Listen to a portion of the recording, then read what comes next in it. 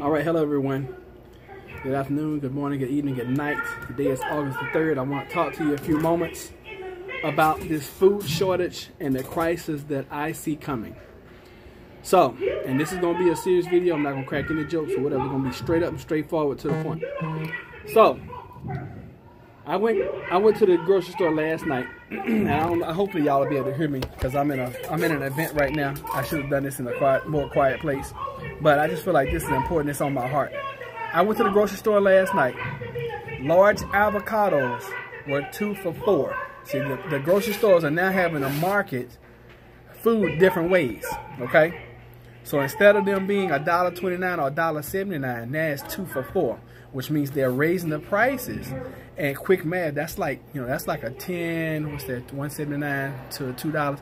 Yeah, that's like a 10 to 12% raise on avocados. Now, for somebody like me who eats avocado every day, that's getting expensive. When I used to pay 69 cents for them, you know, a dollar at the most. So, and I saw, I went to the organic section and I saw mustard more expensive than ketchup.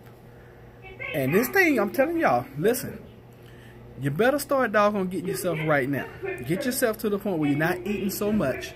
Get yourself to the point where you have some food stored up.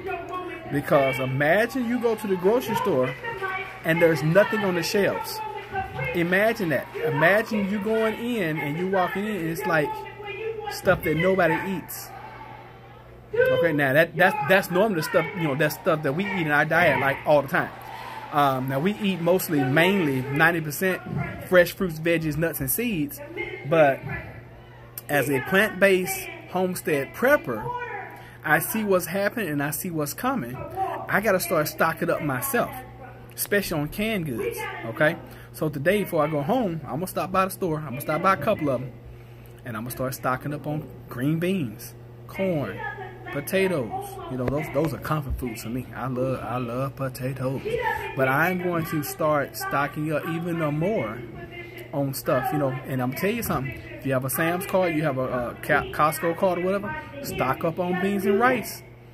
You know, get you a vacuum sealer like I got. Pour them in there, vacuum seal you. And you can do them together. You can do them separate vacuum seal you some some individual pouches that way you got stuff for individual meals because you buy it in bulk you buy it in 20 and 40 pound bags and then you break it down when you get home.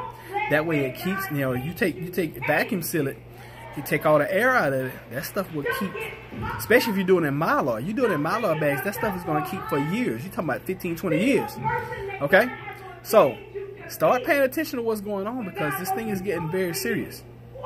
And start growing you some food. Now, I'm going to come back in a little later, maybe not today, maybe tomorrow, and start talking to you guys about um, back to Eden gardening and taking your taking a little space on your on your in your backyard and turning that into a food production spot. Okay, you can do back to Eden garden. You can do raised beds. You can do pots. Um, but do something. Do something. Do something, and start start paying attention to what's going on and listen to what the media is not saying.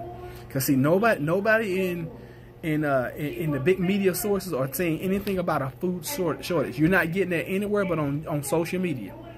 And I'm telling y'all, go to your grocery store and look at the food prices and compare them to last month and see where they are. I guarantee you everything is up 8, 10, some things are 20% higher. And those that those of those of you all that eat meat, be aware because meat is about to skyrocket. I don't even know. I don't know what meat costs because I don't eat meat, but I'm hearing the rumors and I'm seeing what's going on. I'm like, okay, well, if you're not producing corn, that's mainly what we're feeding pigs and, and cows. So that means that means the meat's about to go up.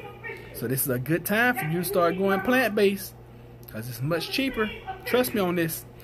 Anyway, thank y'all for being here. Please consider to subscribe, hit the bell icon so you know when I post. And uh, we'll come back in with some more videos because this is we're we're we're getting there. We're getting almost crisis situation.